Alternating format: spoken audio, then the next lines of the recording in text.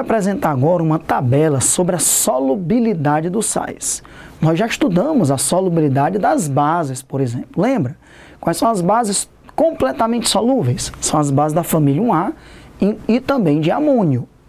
Quais são as bases parcialmente solúveis? São as bases da família 2A, com exceção do hidróxido magnésio, que não é uma base parcialmente solúvel. Ela é uma base praticamente insolúvel. Quais são as bases praticamente insolúveis? Todas aquelas que não são da família 1A, nem 2A, nem de amônio, incluindo o hidróxido magnésio. Lembre-se que, na verdade, quando a gente diz praticamente insolúvel, isso é o correto. Às vezes tem alguns livros que vão dizer insolúvel. Na prática, todo composto, por menos, por menor que seja a sua solubilidade, acaba se dissolvendo uma pequena parte. Pois nós vamos aqui procurar sintetizar a solubilidade dos sais. Existem centenas de sais e eu vou procurar sintetizar a solubilidade dessas centenas de sais nessa tabela relativamente simples. Então vamos começar aqui com algumas regras importantíssimas, algumas regras fundamentais. Primeiro, todos os nitratos são solúveis, não há exceção.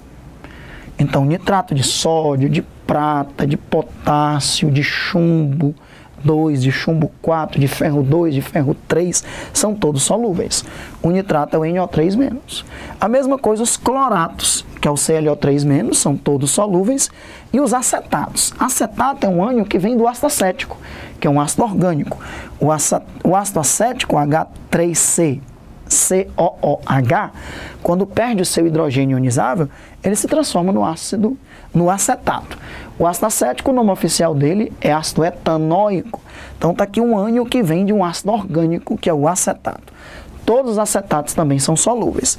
Desses três ânions, que todos os seus sais são solúveis e não há exceção, sem dúvida o mais importante são os nitratos. Todos os nitratos são solúveis. Essa regra é uma regra de ouro todos os nitratos são solúveis. É fundamental que você saiba disso.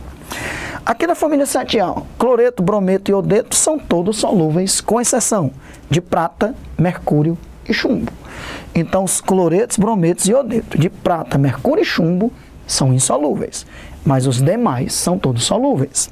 Então isso é importante. Como é importante a gente saber que o cloreto de prata é insolúvel, que o brometo de prata, o iodeto de prata são insolúveis. E lembre-se, quando a gente fala insolúvel, a rigor, estamos dizendo praticamente insolúvel. Já que mesmo um composto pouco solúvel acaba se dissolvendo em pequena quantidade, nós vamos estudar isso lá na físico-química, na matéria chamada produto de solubilidade, ou KPS. Muito bem, do mesmo jeito, ó, todos os sulfatos são solúveis.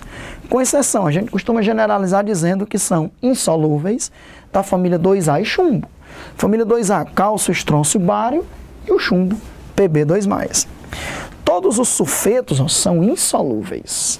Sulfeto S2-. Só são solúveis os da família 1A e 2A, como regra. 1A e 2A, cálcio, estrôncio, bário. E agora, ó, todos os outros sais são insolúveis. Todos os outros sais que não estão nessa tabela são insolúveis. E qual é a exceção? Portanto, são solúveis. Essa regra é a outra regra, de ouro. A primeira regra de ouro, todos os nitratos são solúveis. A outra regra de ouro eu vou dizer agora. Todos os outros sais, cujos cátions são da família 1A e amônio são solúveis. Isso é muito preciosa essa regra todos os outros sais da família 1A.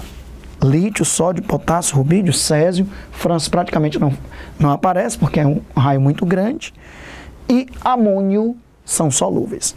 Então essa tabela nos dá uma, uma visão geral de solubilidade dos sais. Isso vai ser importante até para o módulo que vem, o módulo 7, o módulo de reações inorgânicas, que nós vamos estudar, por exemplo, que as reações de dupla troca, uma das possibilidades para uma reação de dupla troca acontecer é formar um composto insolúvel ou praticamente insolúvel, ok?